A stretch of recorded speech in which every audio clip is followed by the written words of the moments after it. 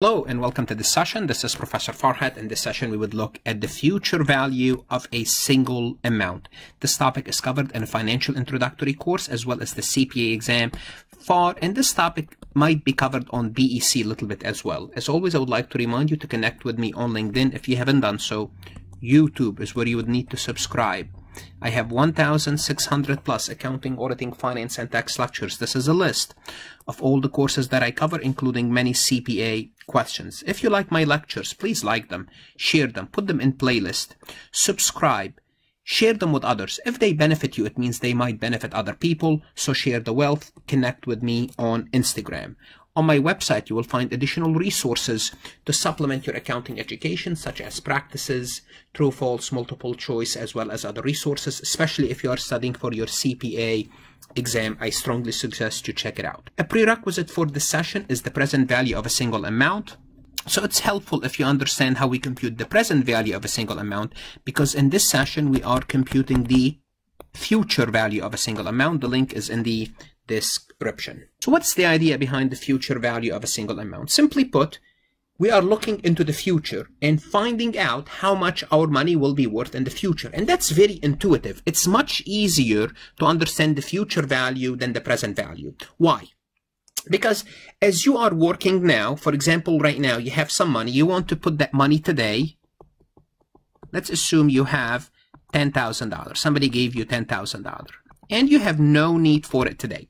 So what you'll be interested in, you'll be interested in if you you'll be interested in knowing if you invest this money and you are 30 years in, away from your retirements or 50 years, you want to know after 30 years how much this money will be worth. So the period, you are looking at a period of 30 now we have to determine what interest rate, what investments are you going to invest your money in? For example, are you going to invest in stocks, in bonds? Are you going to put that money in, a, in the bank? Are you going to buy treasury bond? And that's going to determine your interest rate, your rate of return, your interest rate. It could be 3%, it could be 5%, it could be 7%, depending on your risk tolerance. So the future value is this amount here. How much this money will be worth when you retire. So that's that's what we're looking for. That's what we're looking at now.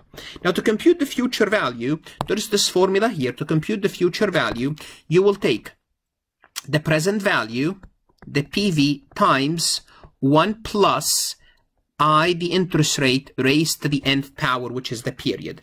The PV is the present value. This is how much money you have today. For example, if we're going to apply this formula to this to the number up there, we'll take $10,000 times 1 plus 0.07 raised to the 30th power. I'm not going to compute this because you're going to see we can compute this number real easily later on. It just this is how you put the formula in. Now you might a lot of a lot of students ask why do I have to add the 1 because you are you need your original amount your original amount times 1 which is 10,000 your original amount 10,000 times 0.07 all raised to the third power. So so the 1 is there just so your original money is there.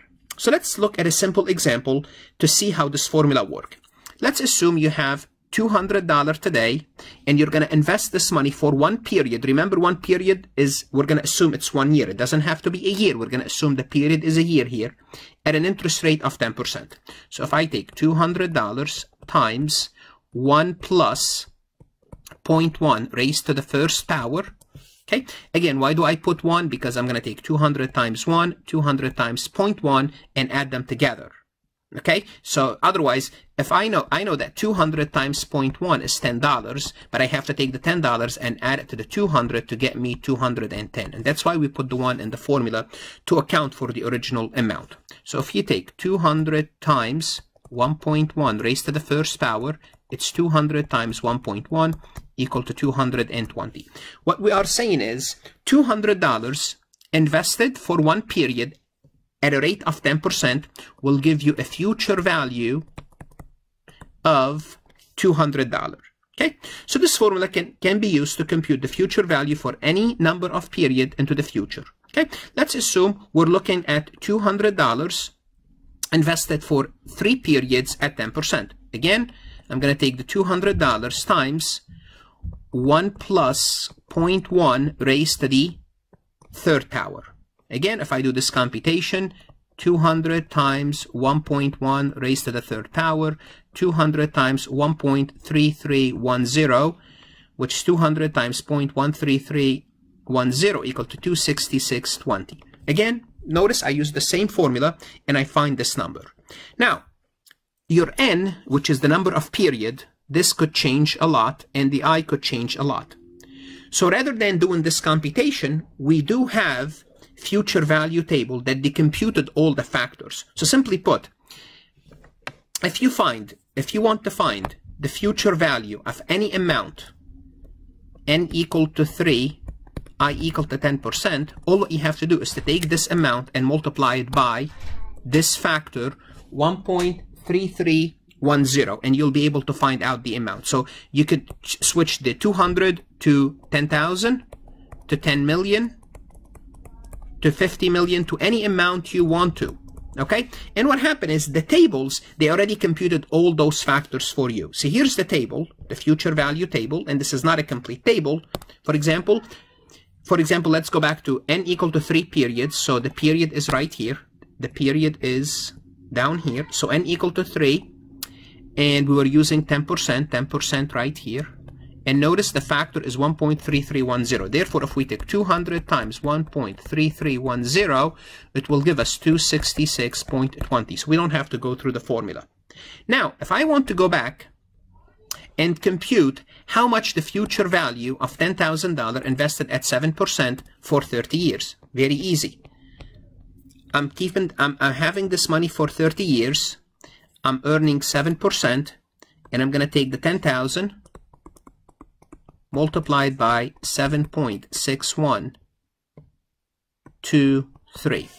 And that's going to be, let me do the computation here, it's going to be $10,000 $10,000 times 7.6123 and that's going to give me $76,123 so this is the future value notice as I told you I'm not going to do this I'm not going to take um, 1 plus 07 raised to the nth power. I can do that. Now, let's talk about the tables, okay? Because remember, we looked at, this is the future value table, which is in your textbook, it's table B2. And this is the present value table. This is what we did in the prior session, which you can find in the description. And here's what we need to know about the tables. Here's what we need to know about the table. There are some important relationship between the table B1 and B2, which is the present value and the future value. Um, for the rows where n equal to 0, the future value is 1 for the interest rate. This is because no interest is earned when the time do not pass. So notice, when the time is 0, when the time is 0, there's no interest. When the time is 0, your money is worth what it what is it worth today. Your money is worth what it is worth today. Okay, because you have no future value we also see that we also see that table B1 and table B2 report the same information but in a different manner. So what's in table B1 and table B2? They're kind of the same the same information reported in a different manner, and we'll, I'll, I'll explain in a moment. In particular, one table is simply the reciprocal of the other, and we'll, I will show you what does that. To illustrate the inverse relation, let's say we invest $100 for a period of five years at 12% per year. So here's what we're looking for. We're looking at $100 and equal to 5 i equal to 12%. How much do you expect after 5 years? Well, let's do that. So let's find out how much you will expect after 5 years at 12%. So, so let's find the future value for this amount. n equal to 5, i equal to 12, and the factor is 1.623. So I'm going to take $100 times 1.7623 so notice 1.7623, it's going to give me 176,023 cents. So let's keep on reading this. We can answer this question by looking at table B2 by finding the future value of 5 period at 12%, which is 1.7623. If we start with 100, the amount that accumulate after 5 years is 176, which is we found right here. Now, we can alternatively use table B1 here we find the present value of $1 discounted at 12% for five periods. Let's look at the other table. If we look at table B1, which is the present value, and we find out that 12%, five periods, the factor is 0.5674. Let's see what does that tell us. So the factor is 0.5674. Recall the inverse relationship relation between the present and the future value. So this value is basically, if you, if you, if you really think about it, it's 1 if you take 1 divided by 0.5, 0.5, 5674. Let's see what we find. 1 divided by 0.5674 and notice it's 1.7623 1.7623 so notice they are the inverse of each other so if we only have the present value table if I only have the present value table I can find the future value what I do I'll take the present value 0.5 I always put 0.0 0.5674 this is the factor. I'll take 1 divided by 0.5674 and it's going to give me the future value factor. The future value factor. The future value factor. So notice they're the inverse. So there's the inverse of each other. Whatever, if you have one table, you can find the value of the other. You can find the value of the other. Make sure you're aware of this. Okay, make sure it's a very, it's a very important relationship. Okay. Also, uh, as we learn in the present value, sometime you might be looking for something other than the future value. So we can solve for future value when I and N are known, just like what we did earlier. How much is $100 worth N equal to 5, I equal to 12%. So that's that's the typical future value, which is 176, 176.23. Also, what we can do, just like what we did with the present value, we can solve for N when the future value is known and when the interest rate is known. Okay, let's look at an example. Let's assume we have $2,000 today. We know we have $2,000 today. And we want to know how many periods it will take to make it 3,000. So we know we have 2,000 today. And we want to have 3,000 in the future. So we know the present value, we know the future value, and we know we can earn 7%. So the question is, how long it's going to take us to find out how long it's going to take us to accumulate this money to 3000 what's n what's the period? Well we use the same technique that we use in the prior session. Here i'm going to use the future value technique. What you do is you take your future value which is 3000 divided by 2000 if you put the future value in the numerator you would use the future value table so let's find the future value let's find the factor so if you take 3, it's actually 3 divided by 2, but let's say 3,000 divided by 2,000 is 1.5. Since the future value, since the future value in the numerator, I'll go to my future value table, and I know my interest rate is 7. So I'm going to go to the 7 here, right here, 7. And I'm going to go across until I find the closest thing to 1.5. The closest thing to 1.5 is this number here. I go across and the period is 6. So it's going to take me 6 years. It's going to take me 6 period to make to make this money, to make this money. Now, I'm going to prove it to you. I'm going to show you that if you invest $2,000 for 6 period at 7%, you will get this number. Let me show you this.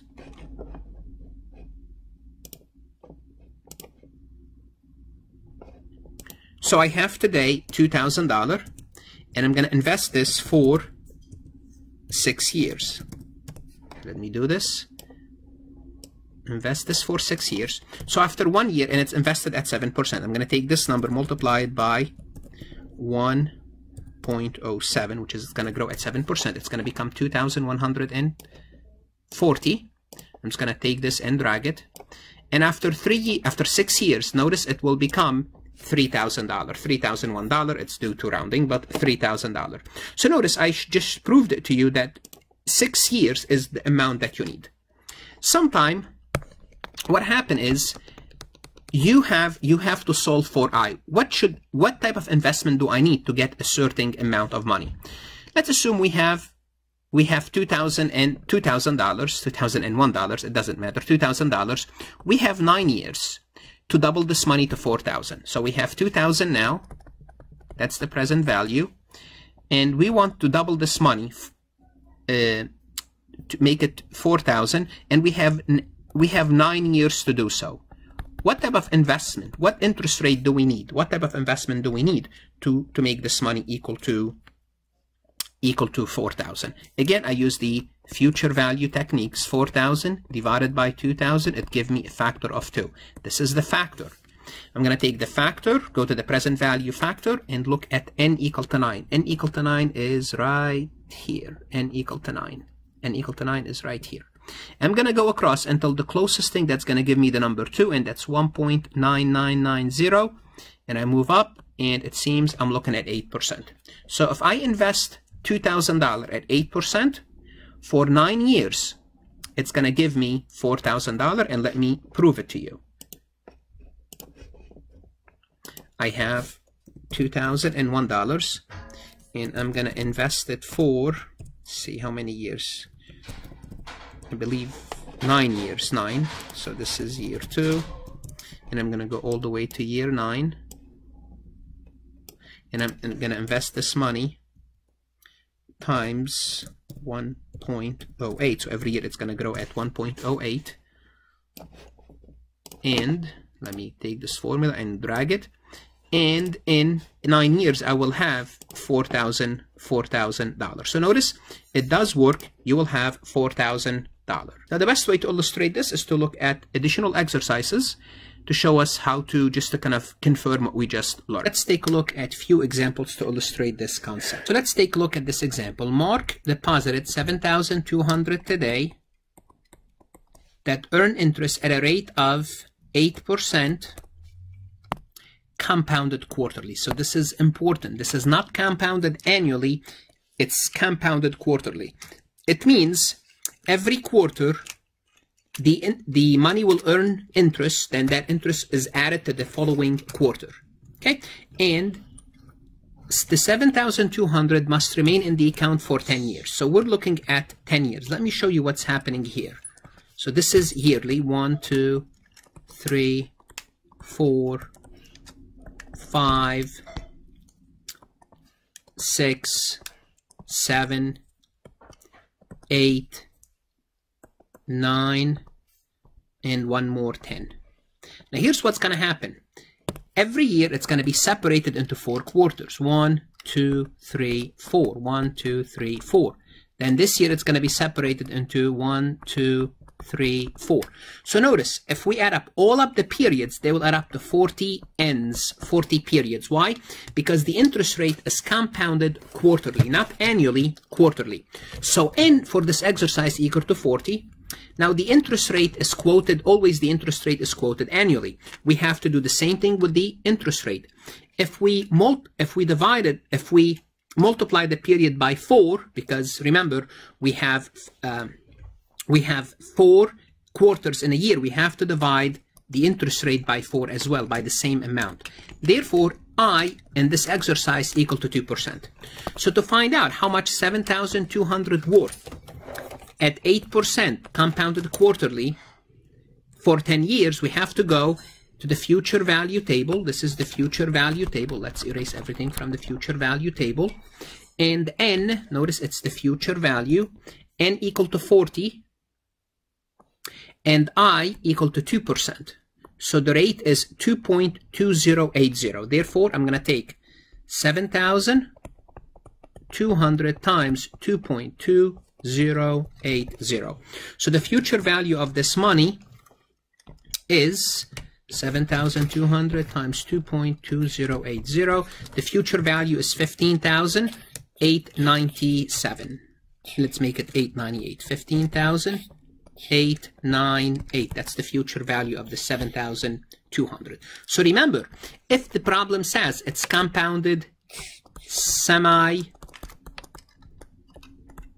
annually. Let's assume it says compounded semi-annually. It means every year is compounded into two, every year is compounded into two pieces. Therefore, eight years, n will be, um, I believe we're dealing with how many years? 10 years. 10 years, n will equal to 20. n will equal to 20 if it says compounded semi-annually. If it says, and you have to do the same thing with the interest rate, you have to take the interest rate and divide the interest rate by 2, and we'll use 4%. Now, if it says compounded monthly, then we have to take 10 multiplying by 12, and it will be 120 and equal 120, and I don't have 120 in the table, then the interest rate will be 8% divided by 12. It will be less than 1%. But the point is to remember that if they change the compounded period, you have to change n and you have to change i. So if you multiply n by 2, you have to divide you have to divide i by 2. If you multiply n by 4, you have to divide i by 4 because to use the proper the proper um, the proper period. C company invests 163,170 today, earning 7% for 9 years. Since they don't tell us anything, we assume it's compounded annually. Compute the future value of this investment 9, year, nine years from now. So they did not tell us whether it's compounded monthly or semi-annually, so we have to assume it's annually. So we're going to have I equal to 7% for this problem, N equal to 9 and we have 163,170. So I'm going to go to the future value table and n equal to 9, i equal to 7. So n equal to 9, i equal to 7, i equal to 7, i equal to 7, and it's 1 point, 1.8385. 1 point times 1.8385. All what I have to do now is take my present value, 163,170 times 1.8385, and that's equal to 200. Let me see, 299,988. 299, 988. So that's the future value of this amount. Now, in the next session, we would look at the present value of an annuity. Okay, and this is important. The present value of an annuity important. Then we would look at the future value of an annuity. As always, I would like to remind you to like the recording, connect with me, visit my website for additional resources, subscribe, study hard, and stay safe during those coronavirus days. Good luck.